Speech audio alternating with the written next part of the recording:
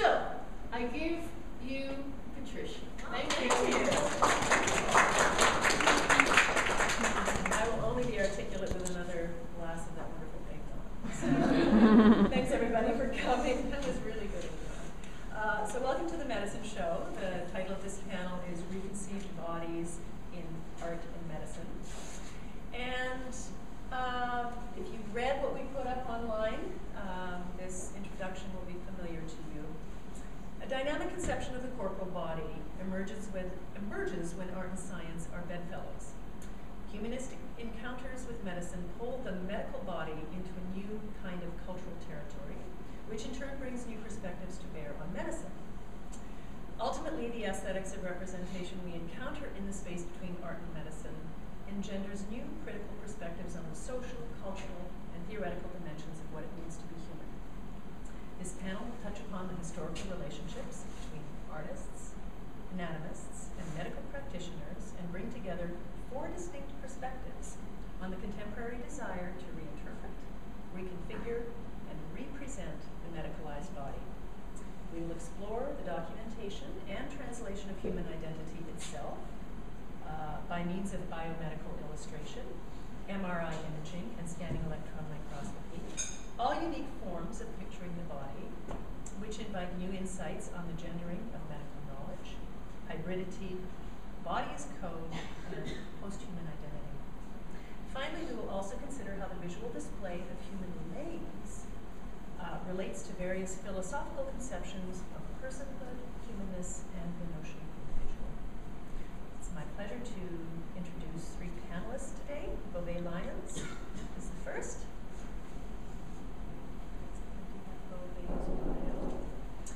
Beauvais Lyons is oh. a Chancellor's Professor at the University of Tennessee in Knoxville, where he has taught printmaking since 1985. Lyons received his MFA degree from Arizona State University in 83 and his BFA from the University of Wisconsin-Madison.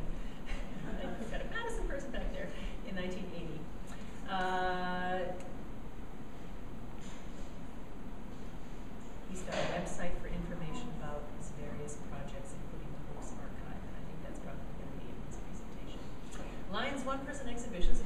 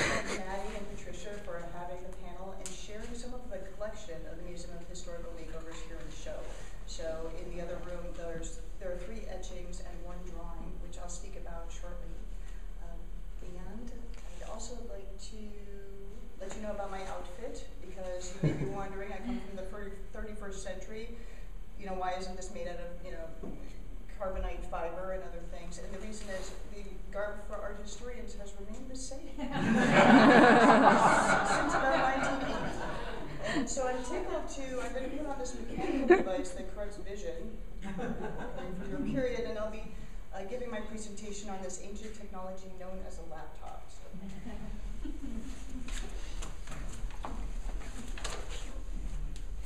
So the Museum of Historical Makeovers was founded in the year 3007 by a direct descendant of Mary Kay Ash, and it's an institution that offers shows that revel in beauty history, and it's meant to fascinate and educate audiences of today.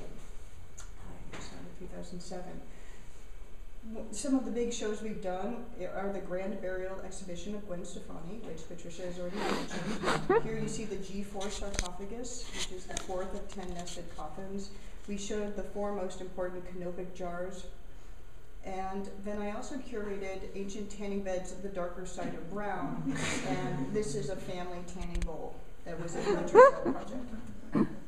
Now, uh, my purpose here today is to, oh, before I let me go on here. This is a picture of the museum as it is right now. And part of the reason we're so grateful to institutions like Central Booking is that our museum is closed right now. In about 10 years, we anticipate that the continued global warming will make our institution look something like this. And so we've had to close it down for a UV permeation upgrade. So during this time, we have to rely on other institutions to show our work. So thank you to Central Booking. Tonight, I'm going to talk about the relationship between art and medicine and how it relates to some of the permanent, permanent collection of the museum.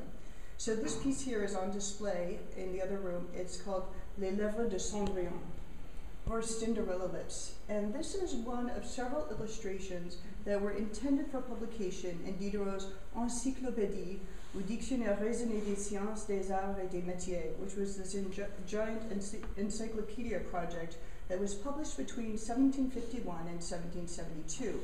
Unfortunately, when the all illustration volumes were to be published in 1771, Les Lèvres de Cendrillon and other illustrations like it were lost. And it was only until recently that this piece was discovered at an estate sale in Lyon, France. Now, what I find interesting about this piece is it combines two technologies by a misinformed artist. So here, this is uh, the Botox bacterium, or the botulinum toxin. And then it's also combined with this injection equipment, which was primarily used for saline solution.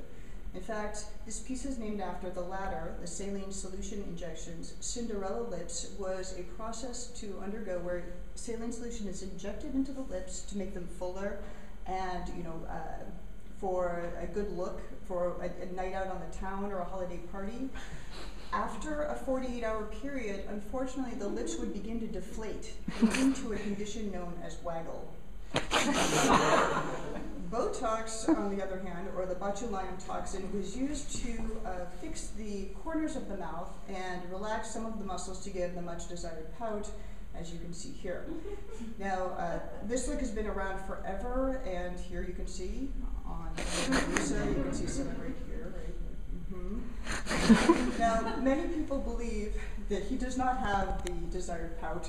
This is Dr. Um, Justinus Kerner, a German uh, writer and doctor who discovered therapeutic value of the uh, botulinum toxin and published about it in 1820, but he was not the first. So in fact, this technology of using bad sausages, which is where uh, the botulinum toxin came from, or the Wurstgift, uh, has been around for a long time. And so, looking at this portrait of Madame Pompadour by um, Drouais in 1763, you can see that she also has received the same treatment here and here. So, they were using their own version of the bad sausages to promote pouty lips for hundreds of years before that. Now, returning to Les Lèvres de Cendrillon. Um, the fact that this has oops, both the uh, Botox and the uh, saline solution in it, that, that would never be used on the same patient. So that's why this illustration is somewhat of a mystery. Why are these two imageries combined in the same piece? Um, the next piece I'd like to show you is from the 19th century, and this piece is called Tatouage bas du dos, or lower back tattoo. And this piece is, illustrates the application of pigmented inks to the lower back region of a young lady. And this is meant to advertise her desirability and eligibility for marriage because at the time, one of the worst diseases um, that you could possibly have would be matelessness, also known as spinster disease. So this process was applied for that reason. I, spinster disease was even more feared than cholera or typhoid fever at the time. Now, of course, no one would actually see these markings until the wedding night, but just the mere rumor that a young lady possessed these markings was enough. Some of the most common designs for the lower back tattoo included the word juicy. and then also the Chinese characters for love and cute. And if you wish to know more about how these Chinese characters found their way into 19th century France and uh, England, please talk to me after the event. Uh, what I find interesting about the lower back tattoo is the resurgence of this um, preventative medical practice uh, in the 1990s, which it was then known as the tramp stamp. and in fact, it turns out that medical records show the most highly processed insurance claims between 2001 and 2020 are for removal of this negative. now I'd like to go on to beautification of the nether regions via surgery. And this is one of uh, my favorite pieces from our museum collection. This piece is called The Brazilian which is an etching attributed to the Wenceslas Atelier, a, a, German art studio named after the former king of Germany and Bohemia, and led by an artist named Käthe Wimper. It's an exciting translation of what can only be The Gross Clinic by Thomas Eakins. This is the original painting from 1875 and it shows Dr. Gross operating on a male patient's leg in order to save his uh, uh, save him from amputation. So this was an innovative process. The Brazilian etching, on the other hand, depicts a specialized Brazilian wax beauty treatment, which involves full epilation or hair removal in the genital area of a female. Now, if you take a close look at the original painting, oops, on the left, there's a figure that's cowering in, in fear. Many art historians believe that this is the mother of the patient who was overcome by the intensity of the operation. Returning to the etching, the Brazilian, this is a male figure this time. And so, in fact, many male art historians believe that this figure is cowering because it's the first time he ever saw the nether regions of the patient and was freaked out by the amount of hair. And female art historians believe that this figure is cowering because it's, a, it's in response, an, an empathetic response to the incredible pain associated with the operation. now, you may wonder where these grooming things like the Brazilian or the metro ticket or these other terms, oh, I'm, I'm sorry, we're going on to the, uh, the Brazilian. This is a similar etching. Uh, this is a male patient, so I'm, I'm, sure you can imagine what that process is. And what's unusual about this etching is that, um, here's the original painting from 1889, also by Thomas Eakins. In this painting, the figures look quite calm, and uh, you know, looking at the patient is calm, the people operating are calm, and so many people believe that this is post-operation, and that perhaps they're just plucking a few extra hairs of the process, which would explain the hairy wax strips here. And then this male figure here has been overcome by the operation, which took up, upwards of an hour to process. So it's with relief that this um, process has been finished. Um, this piece is also related to grooming of the nether regions. It's called uh, Manscaping La Forêt, and it shows here the names of different kinds of landing strip treatments, if you will. So we have uh, the Boyzilian, um, which is uh, related to the Brazilian, or also called the Manzilian and then the Brazilian a la Brazilienne, Le Metro ticket, which actually was not associated with male grooming, so it's kind of confusing why it's included in this two, uh, two stone litho. in case you're wondering, the Metro ticket is, is usually a hair removal that leaves a patch of hair about the size and shape of a Metro ticket. and then at the bottom, there's two more processes. It just says la cire et le rasoir, which means the wax and the razor. Um, this text here at the bottom says in French, with maintenance of the lawn, the tree appears larger. you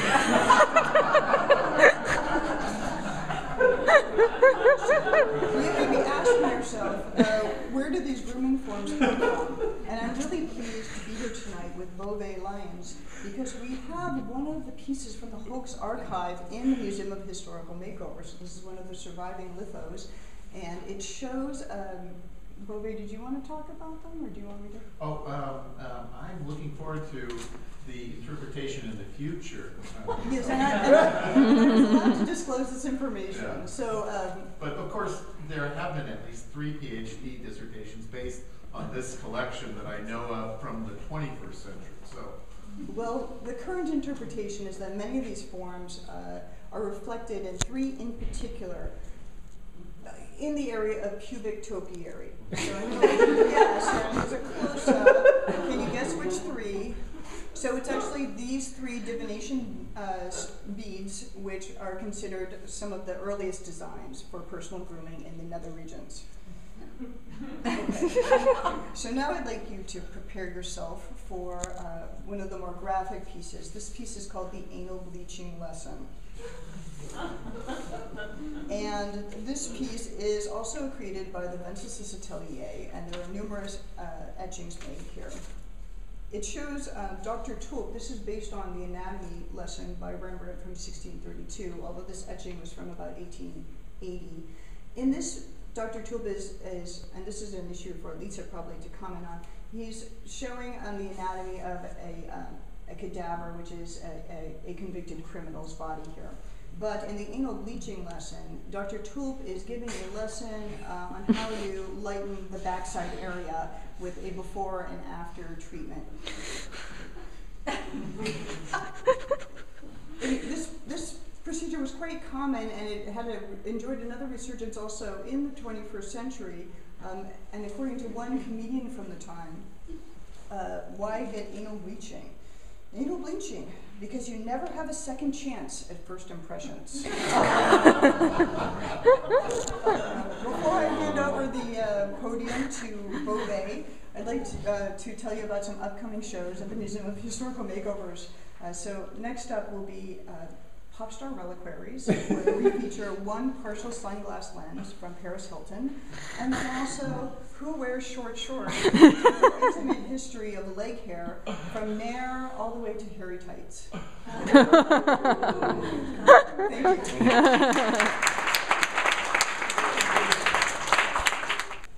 So switching gears a little, my feet are freezing. Oh my god. Okay, so um, I'll stand back here too because this is how I can see the best. So, um, just to give you a little bit of an introduction to my work, uh, the focus of my work over the last 10 years or so has been um, cross-disciplinary based, um, looking at the intersections of art, science, and technology, especially with regard to more humanistic encounters with the life sciences and with medicine, also with mathematical sciences to some degree.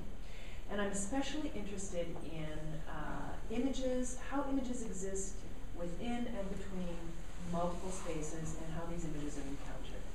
And not surprisingly, I'm not alone in this interest. Uh, Peter Galison, professor of history and science and physics at Harvard University, and also Caroline Jones, who teaches contemporary art um, I'm sorry, contemporary art and criticism at MIT, um, paraphrase, says that uh, consider the realm of scientific classification on one hand and the realm of aesthetics on the other, with the aim of locating where images and objects reside, and to question whether science and art are incommensurable realms of knowledge, is misplaced.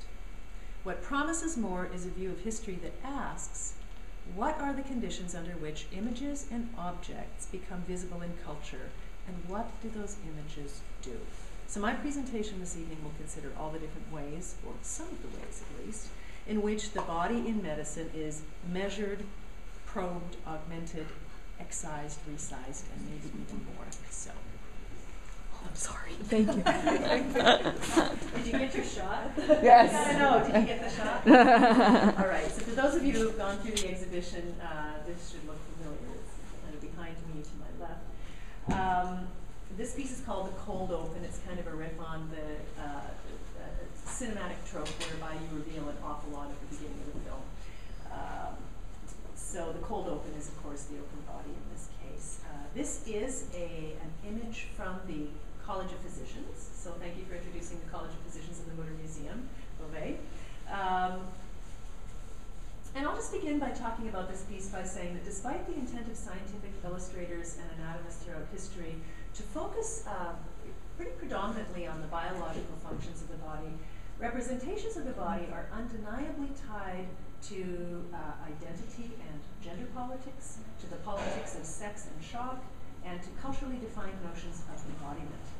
Lucas Kilian's ornate and educational set of interactive anatomical flat prints called Mirrors of the Microcosm, it's produced in 1613, allow the viewer to virtually dissect these human bodies. Flap anatomy illustrations such as these allow the viewer to literally flip through sequential images of the body, which are hinged in layers, as you can see there. Uh, they're hinged in layers over a specimen who this is always the surprising thing about these images, they pose unflinchingly in defiance of their own dissection, which is so incredible. They're usually gazing, you know, they've got a fixed gaze to the viewer, and uh, it's, it's really quite, uh, quite startling when you begin to take these apart. Anyway, um, getting back to the politics of sex and shock and to a kind of um, um, gender, genderizing of the medical body, uh, I think it bears mentioning at this point to say that when you pull the fig leaf down on the male figure, I'm pretty sure in this piece, I think it's a brain. when you pull down the kind of swooping cloud-like form over the women's genitalia, it's a gorgon. So, I mean, there are definitely moral ascriptions to the genitalia of both of those figures, and uh, and and uh, those ascriptions are not, uh, by any stretch of the imagination, neutral. So uh, this image conjures um, what Foucault termed as the medical gaze, which shifted the focus away from the body as a site of self, as a site of the self, to the body as a site of the medical, uh, medicalized uh, expertise and social practices. And what I did with Lucas Kilian's uh, image here, I, I, took the photograph um, and I colorized the viscera. And the subtle coloration of the viscera in my version of microcosm is an attempt to bring the body back to the site of itself. So for me, such images evoke less of a sense of, uh, of a kind of abject horror or revulsion, but more of uh, the sense of the body as a self-realized or self-represented uh, uh, uh entity. Uh, for anyone who's a fan of physiognomy or a critic of it, you would know that there was a period in history where um, the skull was measured extensively with uh, calipers by people who were um, fans of uh, physiognomy, physiognomists, they would be called. So um, this references some of my source material for my work, and I often gravitate toward medical texts for source material, and so I've learned a lot about the patterns of discourse in the history of medicine. And um, you may have heard of the uh, the, I call him a character now, but I guess he was a 19th century criminal uh, anthropologist, uh, Cesar Lombroso, who focused his work on part, uh, in part on the belief that the common criminal was a kind of biological mutation. And this once well-respected authority on homo delinquents researched and documented the facial features of uh, hundreds of incarcerated individuals, taking special interest in the female offender. And the subtext, of course, for this practice reveals a kind of a perverse interpretation of nature's underlying order and a, a, little bit of an obsessive desire for collecting and interpreting data that expresses variation. So comparative physiognomists use uh, calipers, craniometers, such as the one you see here, to calculate the degree of the so-called disproportion uh, of their subjects. And the resulting data was used to chart the relationship micro and macro features of the face, and then to ascribe personality types to those, uh, to that data. So when I was a Francis C. Wood Fellow at the College of Physicians and Mütter Museum a number of years ago, uh, I had access to the collections both in the library and in the Mütter Museum. And I started working on um, a piece that's taken a number of years to develop. Um, this is a, a current body of work that I'm working on now called the Mutable Archive. And it's really uh, focusing on the theme of mortality and what remains beyond our mortal coil. And this is a subject I think that has sustained both individual and collective interest for a long time, but uh, seemingly with increased intensity in recent years. Uh, photographs by Sally Mann of the Body Farm and um, uh, Jeff Wall's Battlefield of uh, Conversing uh, Dead Soldiers, which was then uh, referenced in Omer Fast Continuity, which was screened and documented in Kassel last year. Uh, and also the Guggenheim exhibition a couple of years ago called Haunted, I think reveal kind of a contemporary obsession with, with what remains after our passing. So, in this body of photographs that I took of Dr. Hyrtl's skull collection, um, I'm, I'm interested in creating a kind of partial archive and in uh, laying bare the um, all of the missing parts of the archive. So, uh, Dr. Hyrtl's skull collection was uh, collected, as I understand, with few questions asked, mostly people who were executed, and um, there were post-mortem skull tattoos put on the side of the cranium, as you can see here. And in some cases, there was very little information that was uh, tattooed to the skull, and in other cases, there was some significant information that was tattooed to the skull. Um, this was the series of photographs that I took from Dr. Hyrtl's skull collection. This was a 19th century collection. And you see the names and some of the um, crimes committed by the individuals who are collected in the collection. And then you see the archive cards, which have uh, original documentation and then additional information added uh, over the uh, over the years. And um, so in this uh, in this uh, series of work, I'll be commissioning writers who will be from uh, perhaps curators of medical collections, medical ethicists, writers. Um, and also in touch with a spiritual medium, and these people will um, will write fictional biographies on the subjects of this collection. Mm. It's really meant to, uh, again, to point to what's missing in terms of these people's individual uh, identities. So, so I think for me, this this uh, body of work. Um, uh, looks at again the partial archive and how we can create new meaning through new interpretations while honoring the historically significant, time-sensitive, and ephemer- uh, sort of ephemeral nature of what's at hand.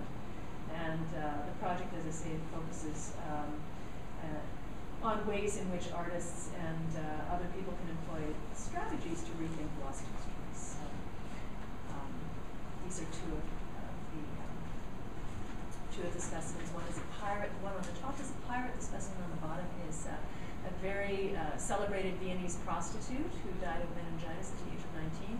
And it is striking when people come through my studio, even if I don't invite them to be part of the project, they will so, so strongly identify to some of the specimens. Uh, one of my colleagues came through and announced himself to be the Dutch suicide. Uh, Eleanor Hansen, I was lucky enough to have in my studio, and announced herself to be Francesca Secora. So let's see what, what comes out of this project. Um, just in the interest of time, I'm going to move quickly. Uh, I also photographed pretty extensively the, uh, the collection of gynecological instruments. For anybody who knows what this is, you must be thinking, ouch. So this, prompt, I think, a reflection on the surgical specialties and uh, specialities and the history of uh, controversies surrounding uh, women's health, especially with regard to the early pioneers of women medicine, women's medicine. So uh, Marion Sims, who is considered the father of American gynecology, uh, was a very um, controversial figure because he, he uh, used slaves as experimental subjects in his work, begging serious ethical questions regarding the consent of human subjects. And it was controversial because supposedly he did en- enhance the health, dramatically en- enhance the health of his subjects, but it was unauthorized use of, of people. So these instruments that are both um, aids to health and that also appear somewhat as torturous instruments is, uh, something that I was trying to capture in these works. Um, I was also very fascinated with prosthetic devices. Um, in certainly in the uh, College of Physicians, it's very easy and very seductive to mind the vast inventory of anatomical models and prosthetic devices that were collected for their historical uh, value, but which have since become, in a way, sort of fetish objects. Um, prosthetic care goes back to the uh, Egyptian dynasty, 2750 BC. That is a real date. and, uh, archaeologists have unearthed the oldest known splint from that period. And um, I think the earliest, uh, I'm sorry, the earliest known written reference to an artificial limb was made in about uh, 500 BC. Uh, Herodotus wrote of a prisoner who escaped from his chains by cutting off his little foot that he later replaced with a, uh, a substitute. And uh, more comprehensive history of prosthetics begins at the very dawning of the um, medical thought.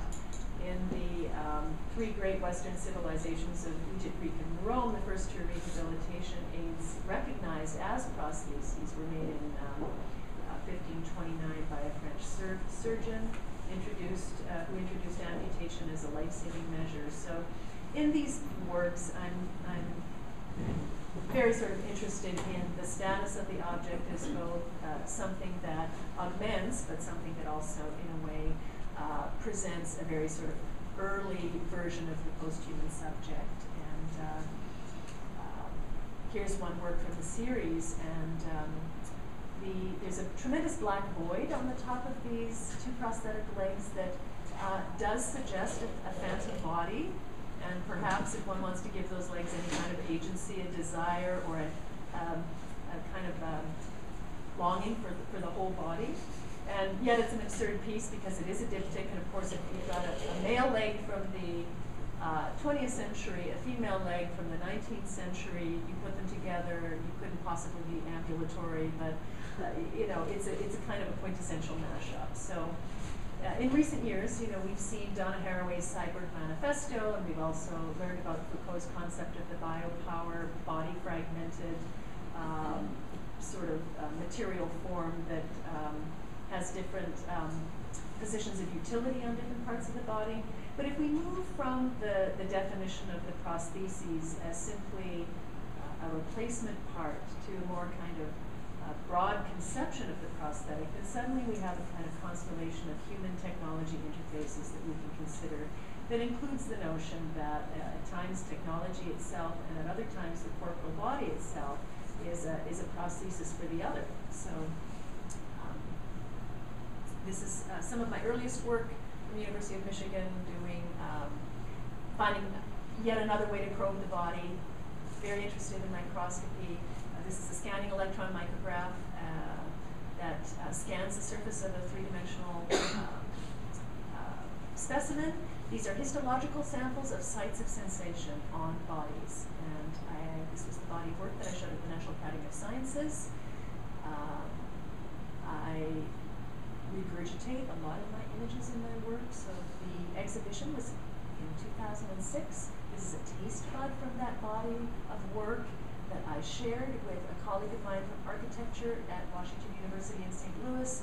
We wanted to um, produce, we wanted to play with scale and produce large-scale sculptures from these SEMs.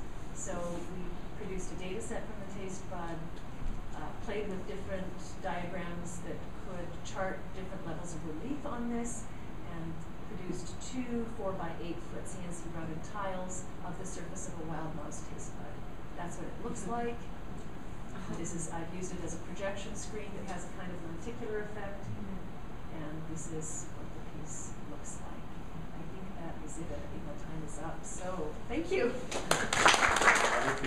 known for pr- principally three areas of publication work is archaeological work on the upper right, his work in uh, creative zoology, represented by the griffin figure and the centaur and the medallion around his neck, and um, for the purposes of the uh, medicine show, Hokes Medical Arts.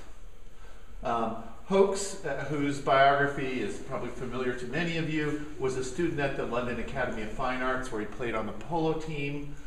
Of course, like some of his classmates, he had to work as a street musician in order to pay for his tuition. And uh, after receiving his degree, worked uh, for a number of different publishing firms, including Murray and Sons, This is actually a photograph later, um, after the establishment of Hokes Scholarly Lithography in 1901, when he's working actually on one of the elementary prints, uh, which I'll talk about in a little bit. Um, after the death of his father, Phillips Hokes, he was re- received a small inheritance and bought a press somewhat like this one, um, and established Hokes Scholarly Lithography. Now, uh, he did not do this work alone. Much of his work was done in collaboration with other university, with universities and various scholarly institutions. Uh, of course, the Azudian work was done with Azudis Liberi, the um, famous association devoted to advancing our, our understanding of zoological uh, culture. Um, and here we have the one of the major touring exhibits, reconstruction of an Azudian temple. Um, and here's the temple itself during excavations in the 1920s. Um, it, in- uh, the exhibit includes ceramics, a temple wall. This is, of course, the styrofoam facsimile. It's a lot easier to tour the styrofoam facsimile than the actual uh, original fragments. Has over 300 hieroglyphs. And of course, the frescoes showing scenes of daily life in ancient Azudia water carriers, carriers uh, the goddess Ninulam, the goddess of garlic.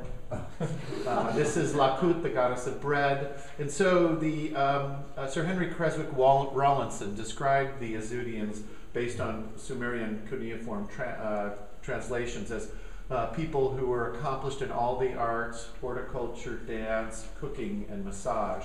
Um, this is Ek- Eklam and Tulam, the ideal married couple here sharing a meal together. And of course, uh, there are a great number of prints that Hokes was involved in publishing, the divination beads being an example that uh, Professor Ao- Aoki just spoke about. Um, and of course, the ceramics, a punch bowl, a milk jug, uh, a Hummer kazoo musical instrument, we're not entirely sure, and the vessel with an inverted spout. There's about 35 of these that are known to exist in public collections. And this probably also had uh, cosmetic applications as well. Uh, probably used as a neti pot. You'd insert your nose in it, clear your sinuses. Azudian architecture, and of course, his other important collaborators who are members of, his, of, of the Zoological Society of America. I know our time's limited and I can't take you through all of them, but Charlotte Dallaire used hypnotic techniques in order to complete the missing sections of a lot of uh, works. And in fact, she uh, translated these into a number, several volumes of Azudian poetry. Uh, Hymn of a Young Woman is probably my favorite.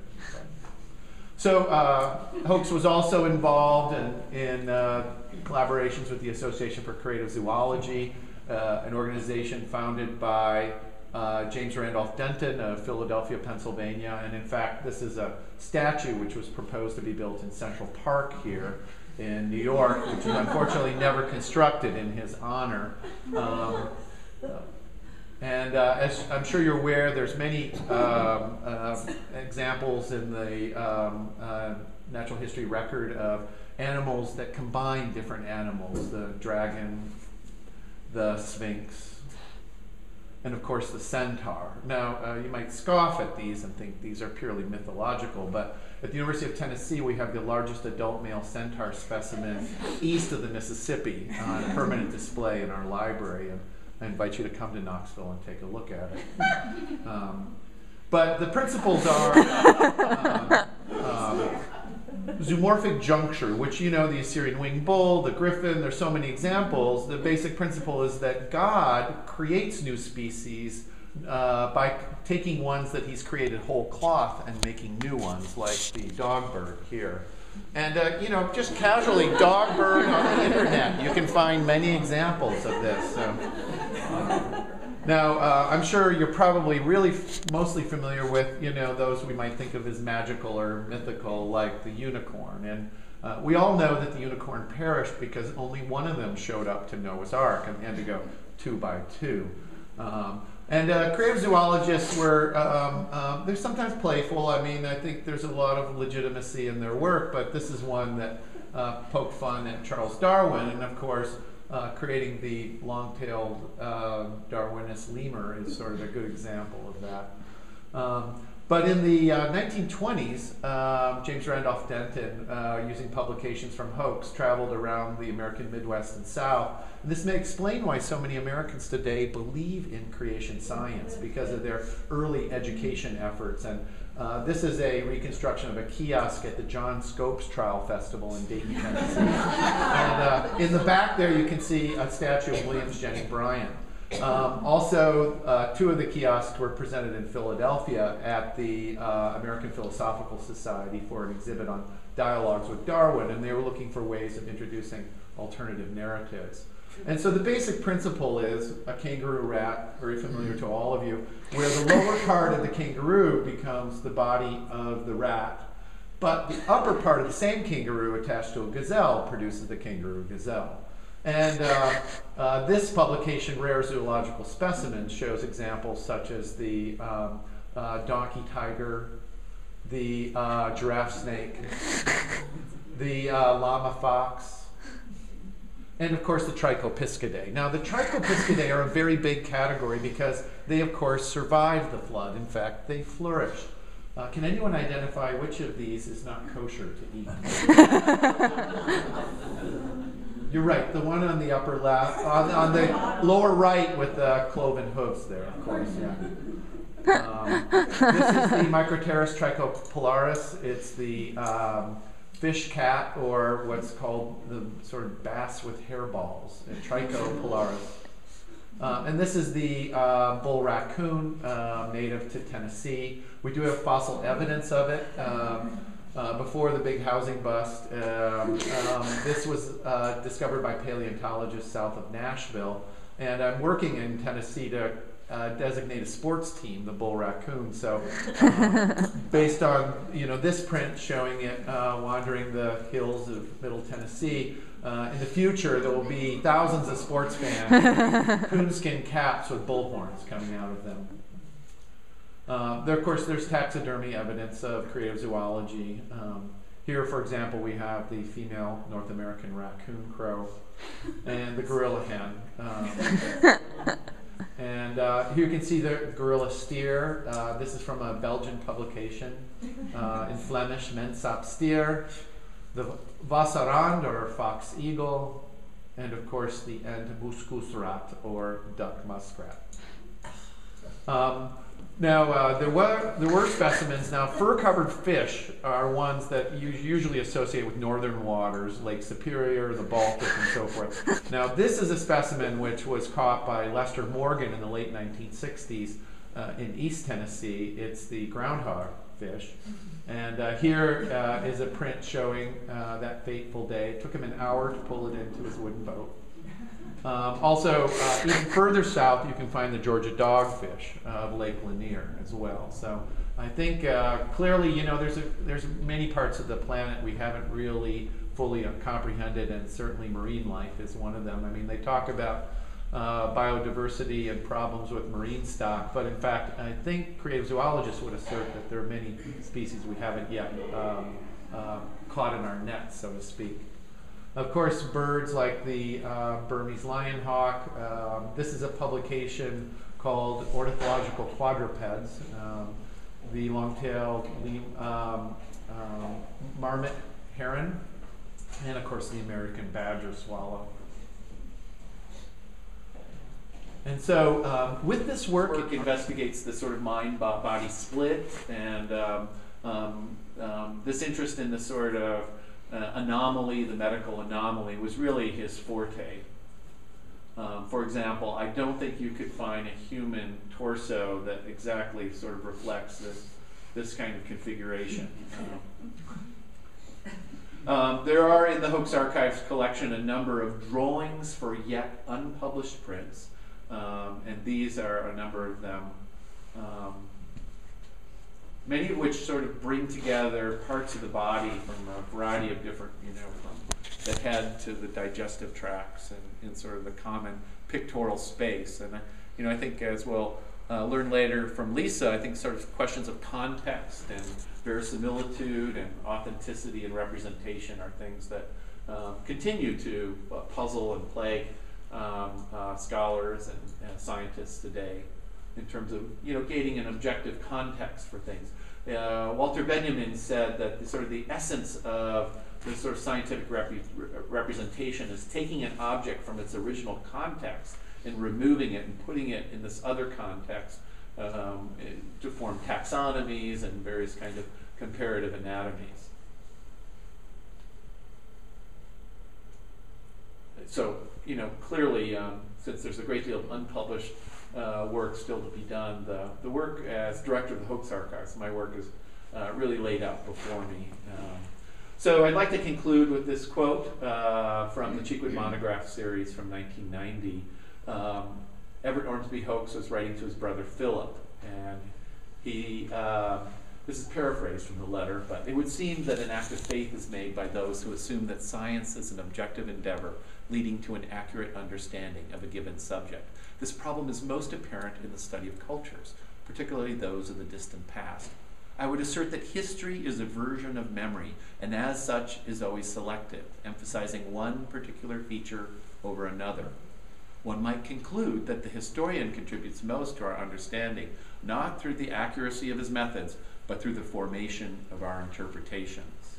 It matters little whether these cultures really existed, for in the final analysis, they only persist in our imaginations. Thank you.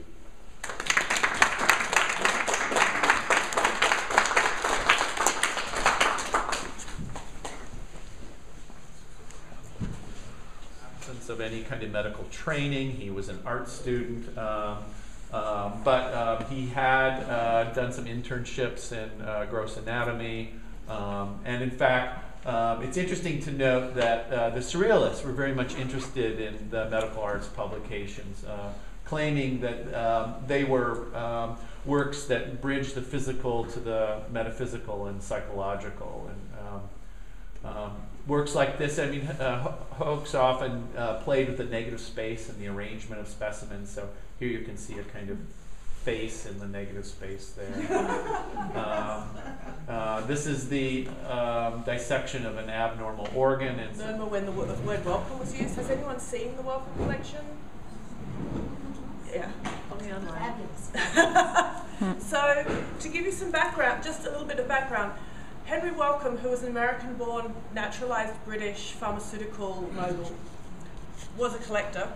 We can say a lot about why, why he was a collector, but the most important thing for our purposes this evening is that he collected a million objects over a lifetime. And he had a vision, and he, he regarded this very much as a medical collection.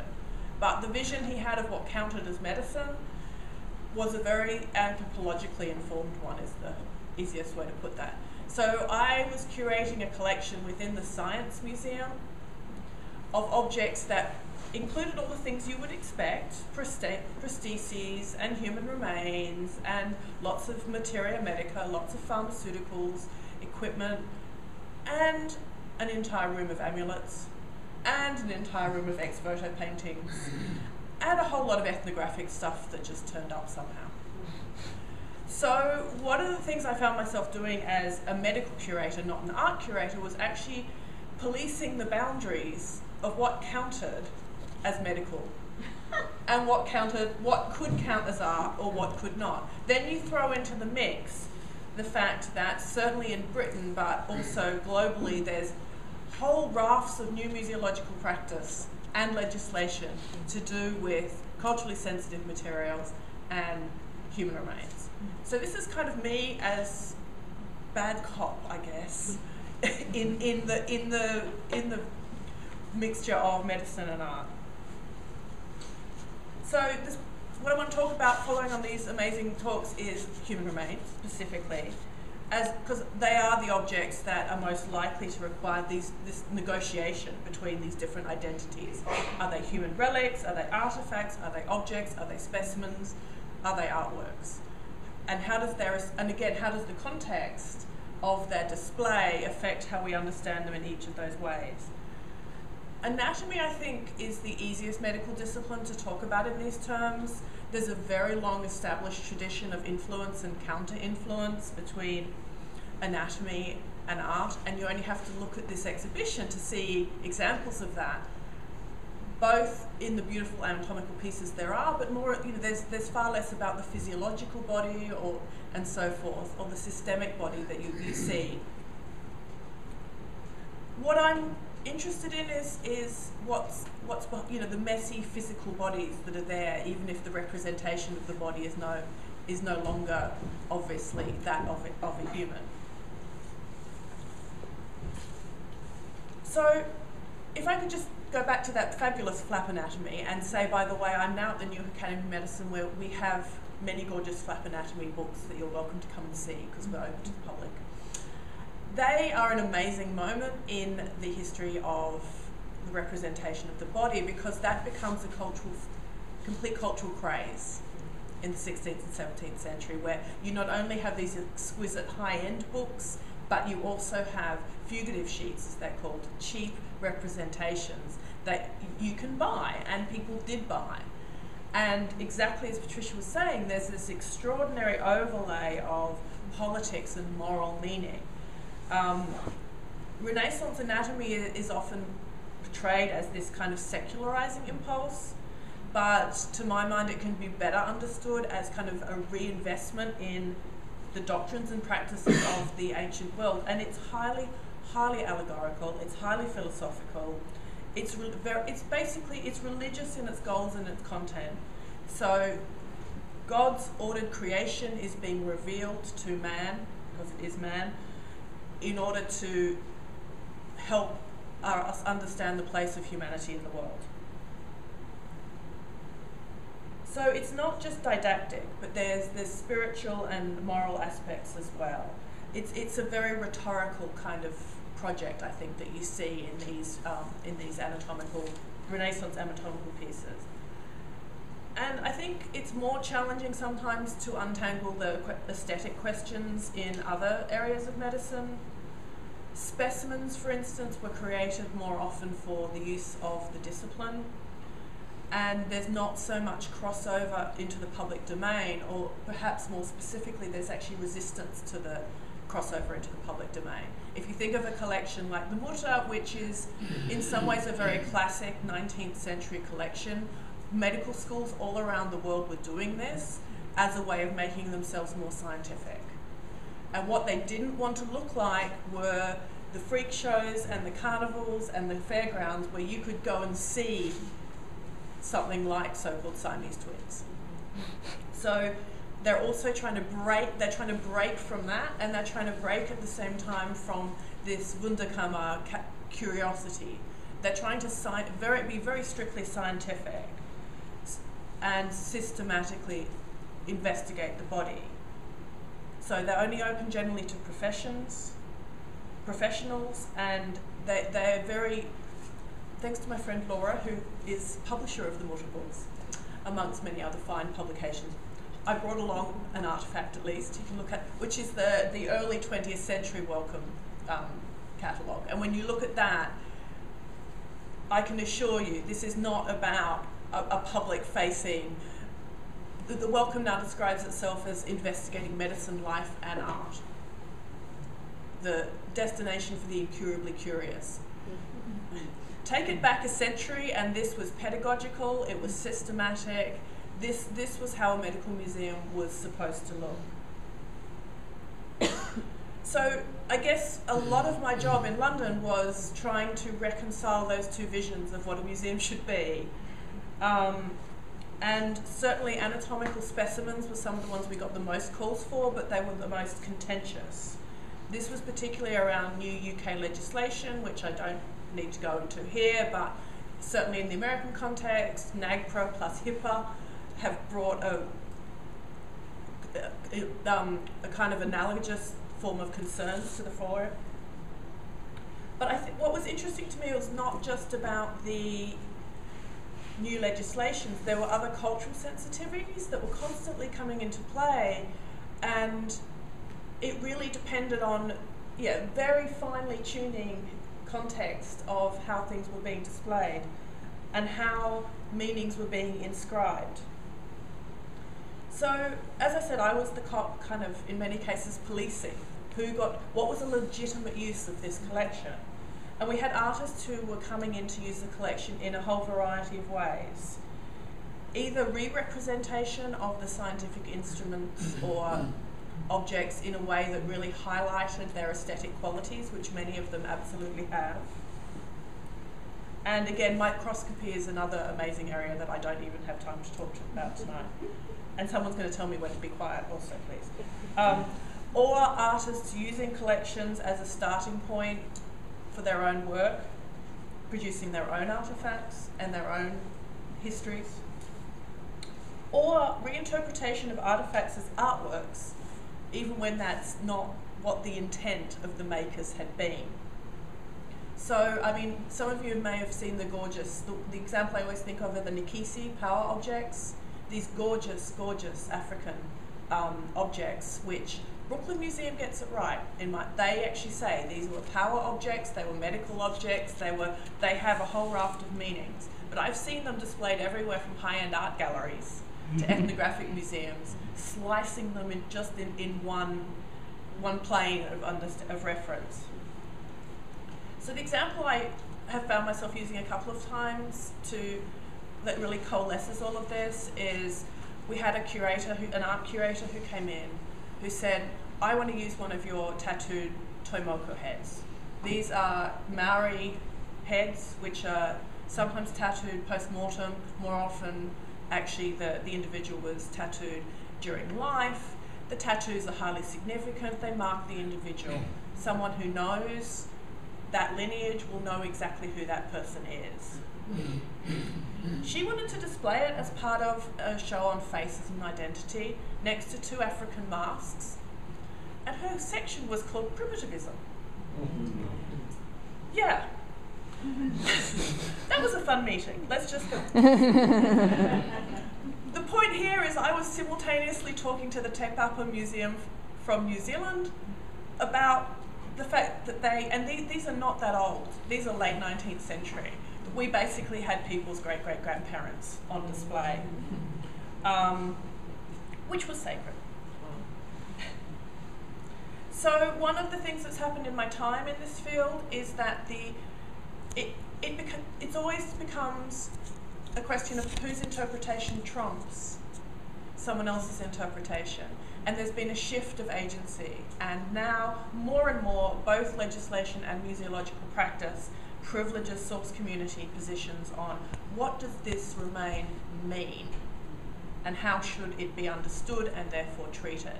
And actually, the, the Lombroso Museum is a great example of there are southern Italians saying, well, hang on, these, this northern Italian museum has skulls collected from as degenerate, etc., in the south of the city, of the, the country, give those back to us. So there's the, the question of repatriation can be very to look very culturally tight, or it can be very culturally diverse. And critically, it's not about physical control necessarily, it's about intellectual control. Who gets to decide which identity is the identity that is the fundamental one? Um, and there's lots of examples of how museums have tried to deal with this. What the, to me the always interesting thing is look at how they deal with the Egyptian mummies, because uh, for instance the Turin Museum, um, archaeological museum now has this beautiful redisplay of a preserved specimen where you have to walk up in order to look at it. It's very much all the way up, you're reminded this was a human being. And then you go in the next room and there's just like piles and piles and piles of mummies because no one cares about mummies, right? right?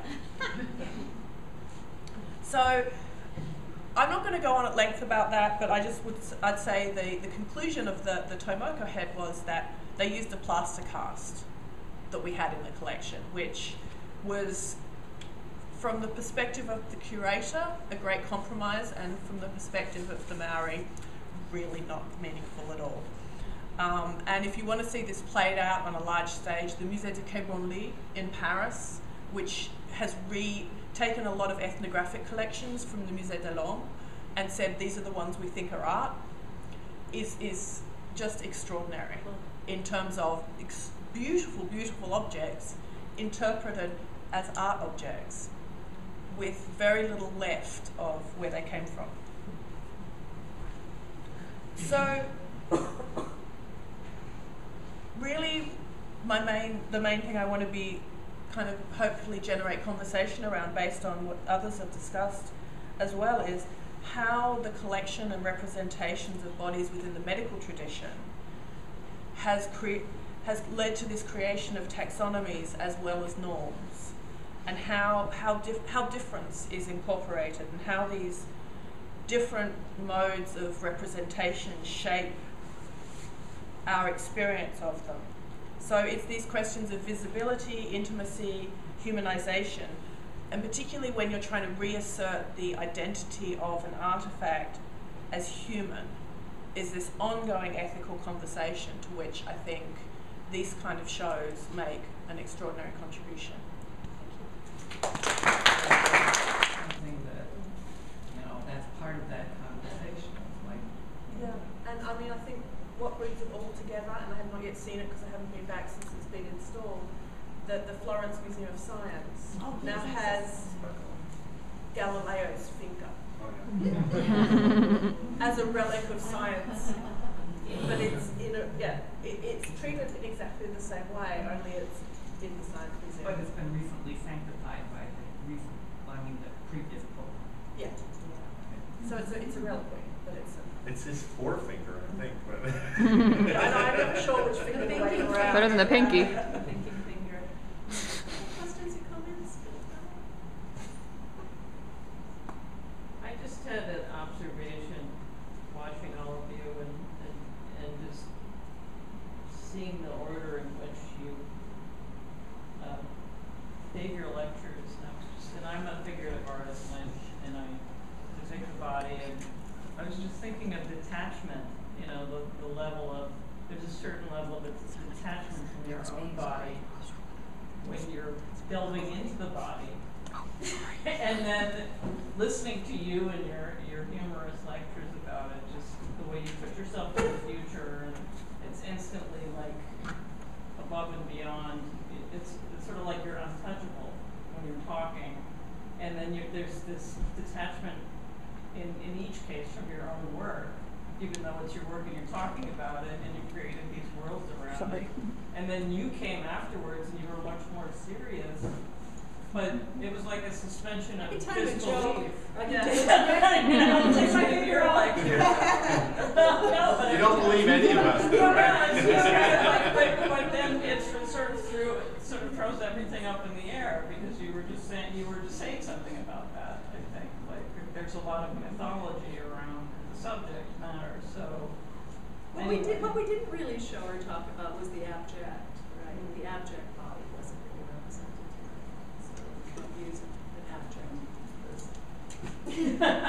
I think Lacan and, you know, a little bit more Lacan is with desire still linked to a kind of hierarchy or order, but no abject, no left yet.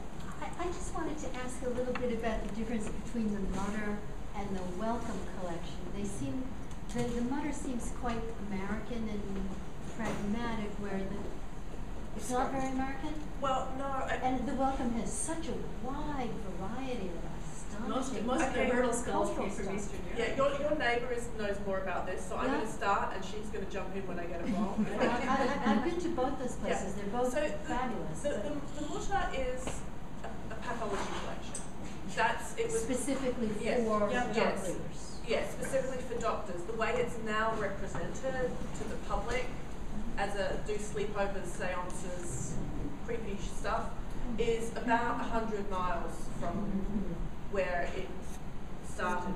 Most medical, major medical schools, most hospitals would have had a collection like that. It was a teaching museum for the Yeah. School of Medicine. Mm-hmm. at the. And Yeah. there are some in London as well. There right? are, there, There's every major city, every major city yeah. has them.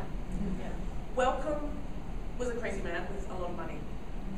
Sorry, we're not meant to use crazy man, but I don't work for him anymore, so. Wellcome had, had, Wellcome had an anthropological vision.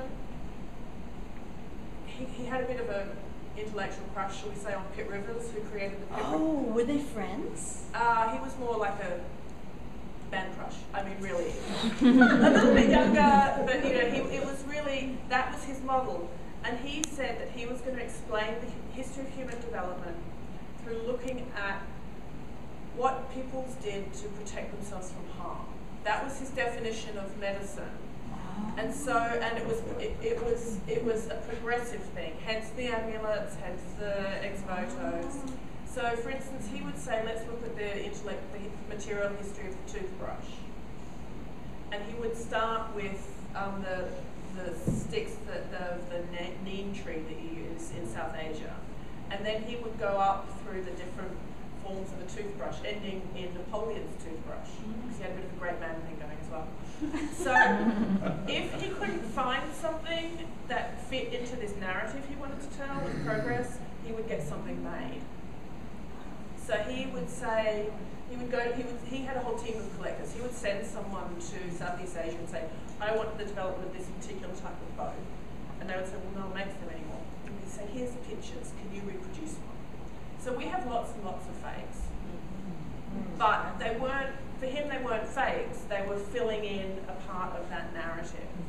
So his collection, I would, is unique in so much as it's, it's the personal vision. He also, in the later part of his life, became very interested in archaeology, for instance. He ran his own archaeological digs. So, I mean, the rumour is that the Pitt River still has about four crates from the 1930s that has never opened out Uh, back. Wellcome or the Pitt Rivers? The Wellcome collection got dispersed. So of the million objects he collected, only 100,000 still remain as the core collection. Um, and got, some got sent to LA, some got sent to the British Museum. The Pitt River's got a lot as well. Hmm. And they say they've just never, they haven't had time to open crates.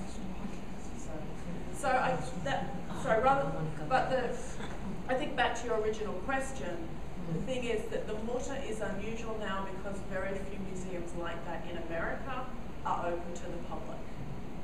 And that's, it's, it's, it's an extraordinary collection, but it's not unique. It's not even particularly unusual. Except in its preservation and public character. Yeah. Is that fair? Yeah.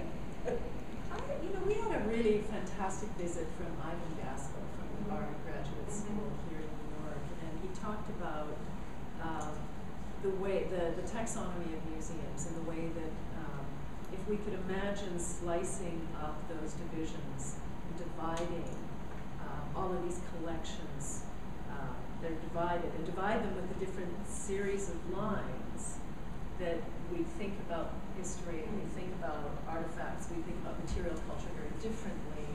Would you, have you ever thought about what it would mean if the human remains were integrated into a museum with other things? Could you imagine them being ever part of a, can you imagine the way, the way that you imagine what should be preserved about those, those remains? Would it be more appropriate to put them in a different kind of collection with other material cultures? Appropriate for that question, does that make sense?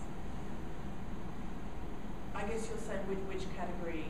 Yeah, is there another category? Is the taxonomy wrong?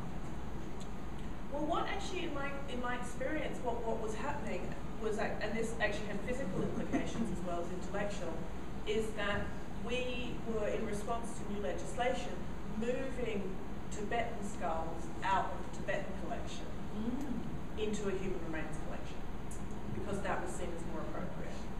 Even though the cultural connotations relating to physical human remains in Tibet have nothing whatsoever to do with the connotations in New Zealand or in, in America, etc., etc. So actually, what was happening was the opposite of what you're talking. Oh. Oh, right. So the taxonomy. It, there was a reassertion of the humanness, and that became really important as well because if people, it's no, it's no big news that the museums of Europe and, and North America are full of cultures, material culture from around the world. Some of it very contested. In Britain, the, the big one is the Elgin slash Parthenon marbles. Mm-hmm. And when I first joined in this discussion, it was all it was all absolutely thin edge of the wedge. If we start giving back ancestral remains, the Elgin marbles will be next. And what happened over time was a real division, and I think that was partly pragmatic politics as much as anything, um, to say humans humans are different. And there was also a couple of scandals in Britain where hospitals have been retaining um, stillborn material without telling the parents. Yeah, so that, that really informed public sensitivity to the point now where whenever you break ground on a big um, excavation for a new building in London, you tend to find human remains. And now there's a public demand that they get reburied, which 20 years ago there was not. So there are also these broader cultural shifts about the humanness of remains. So I would say that that's, that's what's happening, it is that kind of shifting. Is that kind of shift, that it is happening, yeah. Yeah.